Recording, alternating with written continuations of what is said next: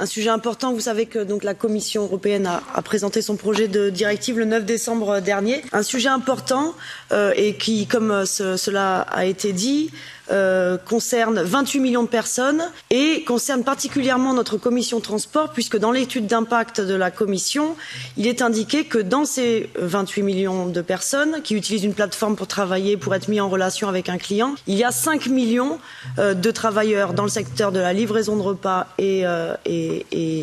et euh, dans les conducteurs euh, VTC euh, qui, eux, sont classifiés de façon erronée en tant que travailleurs indépendants alors qu'ils devraient être salariés. Donc, étant donné qu'on est sur le secteur du transport, c'est quelque chose qui est important pour notre commission. Je propose, comme ça a été proposé dans le projet d'avis de, de, de Marianne Wind, de pas tant s'atteler ici en commission transport sur les questions des, articles 4 et 5, malgré le fait que je partage totalement ce qui a été dit par Tilimès, mais sur les questions du statut. Euh, la commission emploi, comme vous le savez, a commencé les, euh, le dépôt des amendements a eu lieu. Les négociations vont commencer. Je propose que notre commission transport s'attache euh, plus à d'autres aspects qui sont plus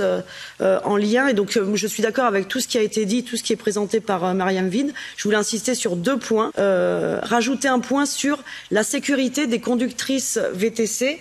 femmes Euh, moi, j'ai discuté avec un certain nombre de femmes VTC qui indiquent qu'elles sont dans une condition euh, très euh,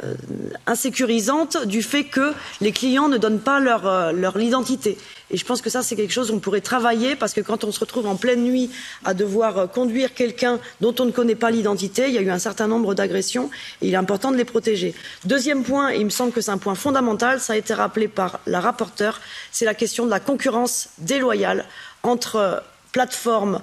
dans le secteur des transports et de la logistique et entreprises de transport parce que euh, les plateformes voudraient se faire passer pour euh, des entreprises qui ne relèvent pas du domaine des transports. Or, je vous rappelle que la Cour de justice de l'Union européenne, en 2017, avec l'arrêt Elite Taxi, a tranché et a dit que Uber était une entreprise de transport et non pas une entreprise euh, du high-tech. Et donc, c'est important de réglementer, tout comme le secteur des taxis est réglementé, c'est important que le secteur des VTC, notamment en tout cas des plateformes dans le secteur de la du transport et de la logistique soit euh,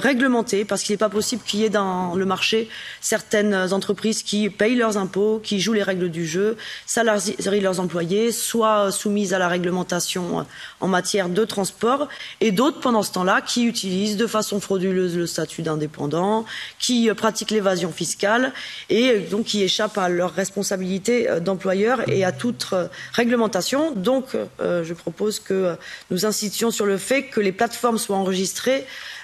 tout comme les autres entreprises de leur secteur euh, en tant qu'entreprise de, transport. Euh, voilà les euh, deux principaux apports que je voulais ajouter, mais encore une fois, le, le projet d'avis est très très très bon et je suis sûre qu'avec les autres rapporteurs fictifs, nous aurons une approche constructive et que la commission transport apportera une vraie valeur ajoutée au rapport principal. Merci.